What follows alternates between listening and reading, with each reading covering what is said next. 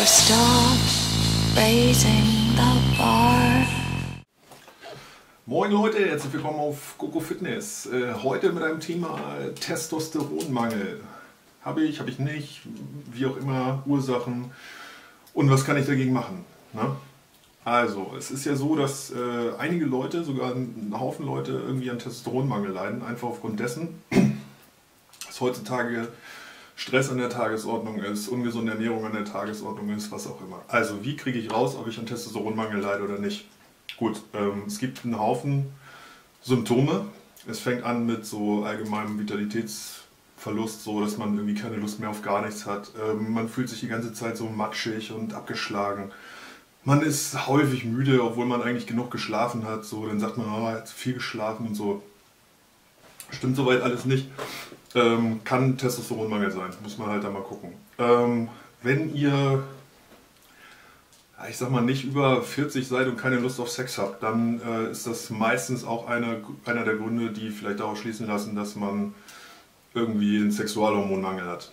Ähm, wenn man schwächer wird, also es ist jetzt nicht irgendwie so sukzessive schwächer, weil man keinen Sport macht oder so, sondern wenn man einfach feststellt, so sag mal, früher war das doch alles irgendwie, früher war das doch einfacher so. Ne? Und auf einmal ist alles halt irgendwie so, ja, schwerer eben.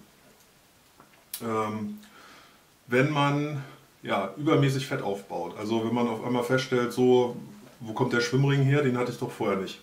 Ne? Das, äh, also Fetteinlagerung ist ja immer so ein, so ein Problem, gerade an den Stellen, wo man es als Mann nicht kriegt. Ähm, also Mann ist so prädestiniert für Bauchfett. Wenn man jetzt irgendwie an den Hüften irgendwie Fett kriegt oder was, dann ist es meistens irgendwie schon so, wo man sagt, na nu, das aber eigentlich, eigentlich sollte das da nicht sein.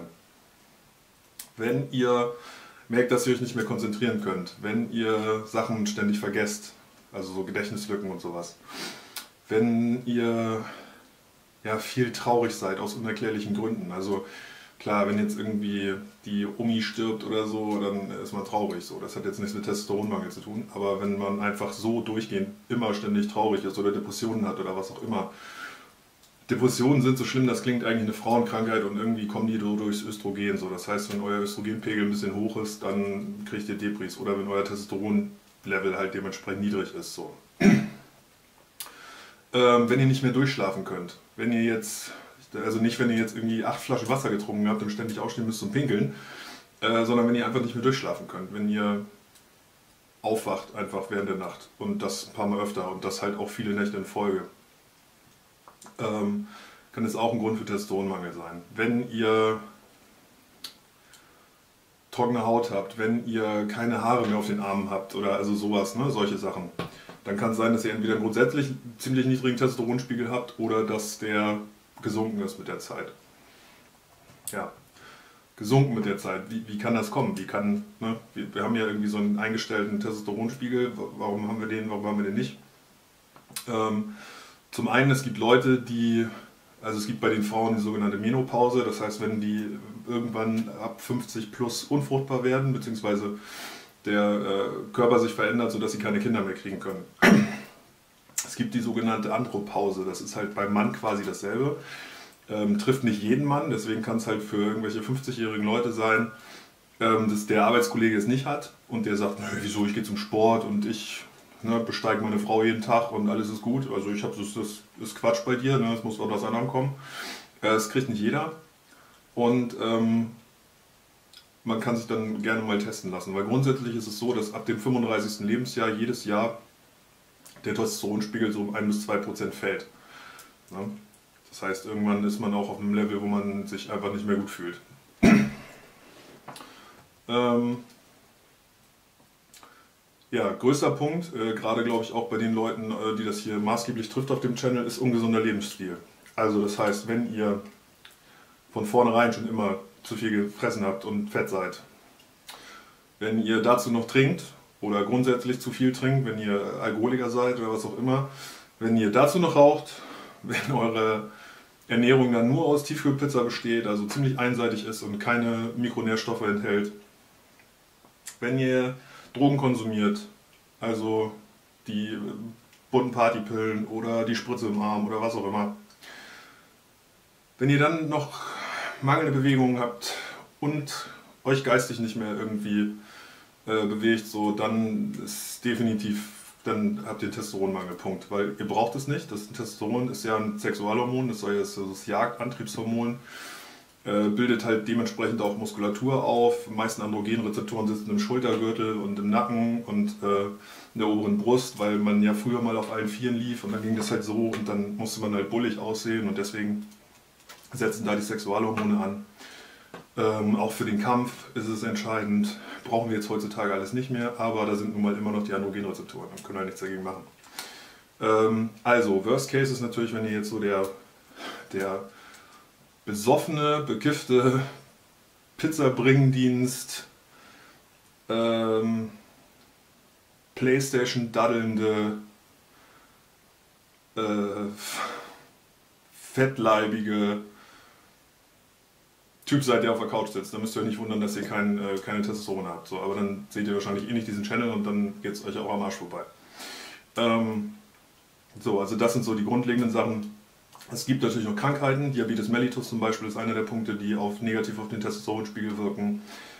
Bluthochdruck, ähm, erhöhte Blutfettwerte oder schlechte Blutfettwerte, sprich erhöhtes HDL und schlecht, äh, äh erhöhtes LDL und niedriges HDL. Ähm, das sogenannte äh, metabolische Syndrom, das ist äh, im Prinzip eine Kombination aus zu hohem Blutdruck, schlechten Blutfettwerten, ähm, Fettleibigkeit in der Bauchregion, also Schwimmringkandidaten und eine Insulinresistenz, erhöhte Insulinresistenz. Dann, inwieweit es unter Stress fällt, also unter Krankheiten fällt, ist Stress noch ein Punkt. Also das heißt, wenn ihr wirklich keine Ahnung, Dauerbelastung am Arbeitsplatz ist ein Punkt, äh, wenn ihr wirklich die ganze Zeit nur unter Strom steht, euch nicht irgendwie geistig erholen könnt. Ihr die Arbeit mit nach Hause nehmt, ihr damit abends einschlaft, ihr damit morgens aufsteht, ihr wieder zur Arbeit geht und das quasi 24-7 so, Wochenende denkt ihr auch nur an die Arbeit, kommt nicht mehr, kommt nicht mehr wirklich runter, könnt nicht mehr runterfahren, so dann braucht ihr definitiv irgendwie einen Ausgleich, ob das jetzt Sport ist oder was auch immer, kommen wir nachher zu, wie man äh, grundsätzlich diese Symptome bekämpft, beziehungsweise das sind ja Ursachen in dem Fall dann. Ähm, familiäre Probleme ist ja auch eine Art von Stress. Also wenn irgendwas zu Hause nicht rund läuft, so, dann kann das halt nicht nur auf die Psyche drücken, sondern auch auf eure Hormonspiegel. Ähm, psychische Erkrankungen, äh, Depressionen gehören dazu. Jetzt sagt man halt, Depressionen, ja, du hast doch gerade gesagt, Testosteron, niedriges Testosteron löst Depressionen aus. Ja, und im Umkehrschluss ist es so, wenn du die ganze Zeit an Depressionen leidest, dann drückst du damit der Testosteronspiegel noch weiter. Also da musst du halt dann einmal das Loch durchbrechen, aus dem Arsch kommen, ob das jetzt irgendwie exogen zugeführt wird oder ob das durch Eigenantrieb passiert, ähm, sei jetzt mal dahingestellt. Ähm, wie gesagt, ich habe keine Probleme mit Stoff, keine Probleme ohne Stoff. Ähm, ich finde, es wird halt zu sehr gehypt, dass ähm, man halt irgendwie, wenn Leute Testosteron konsumieren möchten, dann sollen sie es machen. Also ganz im Ernst, irgendwelche 13-Jährigen gehen zum Arzt, lassen sich die Pille verschreiben, so, das ist im Prinzip nichts anderes als äh, Estradiol, also Östrogen, in atemberaubenden Mengen, so 12-, 13-Jährige. Ähm, und zusätzlich, weil sie Angst haben, dick zu werden, sie wollen ja nur dicke Hupen haben, so. Angst, weil sie äh, Angst vorm Dickwerden haben, beziehungsweise Wasser ziehen ist dann noch ein Diuretikum mit drin. Also was könnt ihr denn noch alles machen? Entwässern und gleichzeitig noch eine Östrogenbombe in so einen zwölfjährigen Körper schubsen? Leute, da müsst ihr mal einen Kopf fassen. Was seid ihr eigentlich für Ärzte? Ne?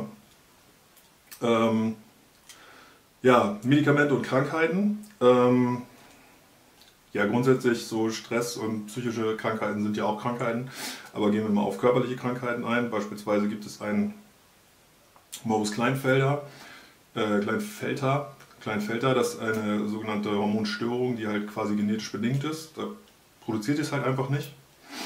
Ähm, wenn ihr natürlich ähm, einen Hoden abgenommen bekommen habt, warum auch immer, sei es ihr seid am Jägerzaun hängen geblieben oder aufgrund von Hodenkrebs oder was auch immer, dann, wenn die Fabrik nicht mehr da ist, könnt ihr natürlich nicht mehr produzieren. Ähm, wenn ihr Medikamente nehmt, beispielsweise Haarausfallpräparate wie Finasterid oder Prostata-Hyperplasie-Präparate wie Dutasterid, was im Prinzip das gleiche ist wie Finasterid, aber dazu irgendwann bald ein Video, ähm, drücken im Prinzip euren DHT-Wert weg, also verringern die Konvertierung von Testosteron in DHT und dementsprechend ist es so, dass ihr ähm, euer Östrogen ein bisschen überhand nimmt, weil DHT der härteste Antagonist, also Gegenspieler von äh, Östrogen ist. Und der Wert natürlich niedriger ist, ist klar, ähm, kann sich das Östrogen halt mehr ein bisschen freier bewegen. Ähm, einige Antidepressiva wirken noch auf den Testosteronspiegel, deswegen halt auch wieder, wenn ihr an Depressionen leidet, Medikamente dagegen kriegt, kann es sein, dass die euch noch weiter runterdrücken, Testosteronspiegel. Das heißt, die Depressionen werden wieder mehr, das heißt, ihr braucht wieder mehr davon, ihr drückt euren Spiegel noch weiter runter, also ist ein Teufelskreis. Ne? Und der Scheiß ist mal richtig ungesund, also sowohl für euren Magen-Darm-Trakt als auch alles andere. Dementsprechend äh, dann den Arzt vielleicht mal ansprechen in Richtung Testosteronersatztherapie oder ob er das nicht mal machen will.